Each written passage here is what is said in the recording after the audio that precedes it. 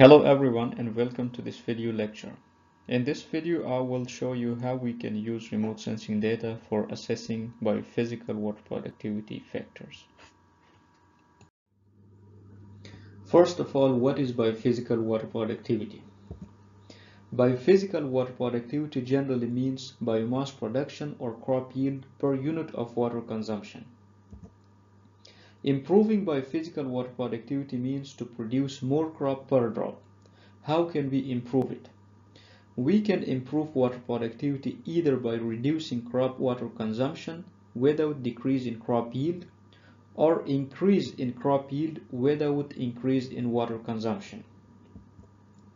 So when we talk about factors affecting water productivity, it means factors that actually affect either crop yield or water consumption. There are multiple factors that affect water productivity. Some are internal factors that are related to crop genetics, and other are external factors such as climatic, management, edaphic, biotic, and physiographic. In order to improve water productivity, we have to identify the influence of these factors on crop yield production or water consumption. How can we use remote sensing data to assess biophysical water productivity factors? First of all, I will talk about its core principles. Remotely sensed spectral reflectance is associated with specific biophysical and biochemical vegetation characteristics. The spectral response is directly or indirectly proportional to the vegetation characteristic Thus, we can capture dynamics in crop growth using this relationship between spectral response and vegetation characteristic. Different spectral reflectances are combined together to make indices. These indices can be used as indicators of factors affecting water productivity. For example, normalized difference moisture index is combination of spectral reflectances in near infrared and shortwave infrared spectral domains, which can be used to identify plant water content. There are thousands of remote sensing based indices. Most of them are compiled in the index database accessible at the link shown below. You might have a question. Can we identify all COINDEF water productivity factors using remote sensing data? The answer is no. Some factors cannot be sensed remotely, such as crop genetic factors or socioeconomic factors. Such factors require fieldwork or interviews. You also might have a question, what factors and what indicators we should consider in our study. It entirely depends on the availability of the data, research interest, area coverage, and time frame of research. In this table, you see on the, on the right side indicators that can be used for particular water productivity factor listed on the left. Remember that there could be multiple indicators that can be used to identify a particular water productivity factor.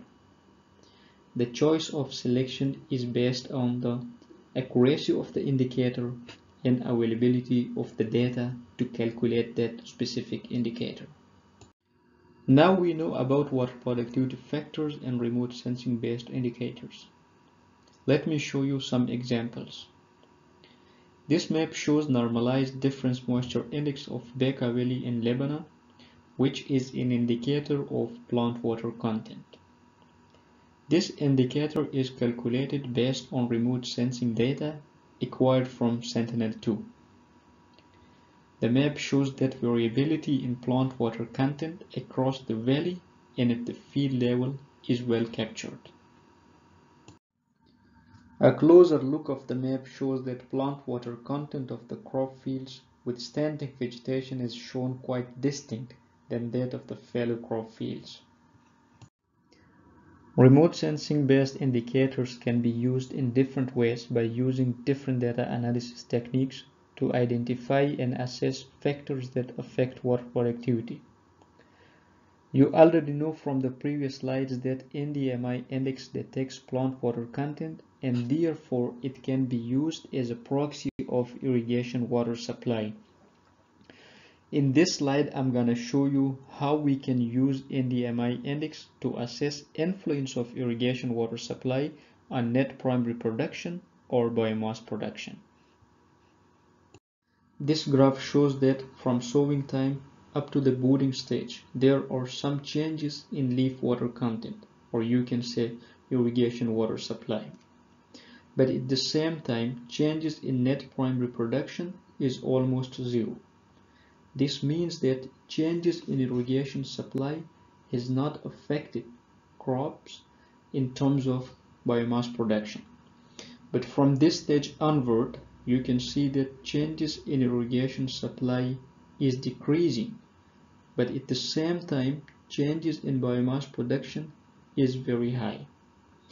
This means that at this stage, minor changes in irrigation supply can bring significant changes in biomass production. To better understand that how biomass production is changing in relation to irrigation water supply, look at this stress sensitivity index. It is calculated by dividing changes in NPP or biomass production or changes in NDMI or irrigation supply. Stress sensitivity index of the wheat crop from sowing up to the budding stage is zero. This means that changes in irrigation supply does not cause significant changes in biomass production. But in budding, flowering, and grain filling stages, this index is very high.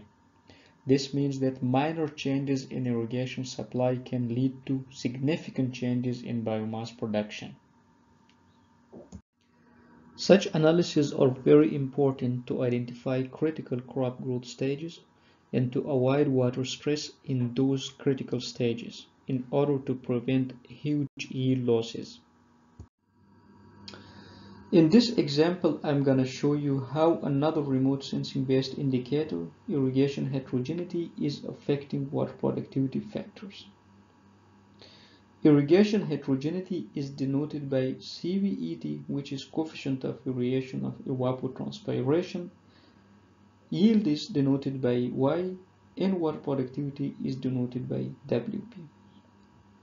A larger and red circle is showing higher negative correlation, while a larger and blue circle is showing higher positive correlation. There is a negative correlation between wheat yield and irrigation heterogeneity. This means that wheat yield is negatively impacted by irrigation heterogeneity. We have same findings for potato crop. This means that potatoes yield is also negatively impacted by irrigation heterogeneity.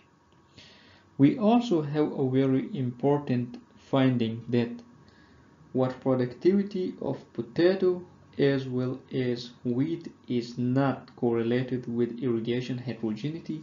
This means that water productivity of both crops is not impacted by irrigation heterogeneity. Another finding is that water productivity and yield is positively correlated for both crops, but this correlation is more obvious and larger in potatoes as compared to wheat. Let me show you another interesting example. In this example, I want to show you how spatial variations and trends across irrigation scheme can help us identify factors affecting water productivity. In this example, we have divided whole irrigation scheme along irrigation canal from upstream to downstream in 10 portions. The map shows that rice yield in the ODN irrigation scheme in Mali is decreasing from upstream to downstream. This graph further illustrates the situation. Rice yield from around 3.1 ton per hectare at the head end of the canal decreases below 2.7 ton per hectare downstream. This reduction in rice yield along the canal reach could be due to differences in irrigation water supply, irrigation practices, irrigation technology, or crop variety. You can think of more factors. In order to diagnose the root cause of this yield reduction, we have to make use of other remote sensing based indicators or field information.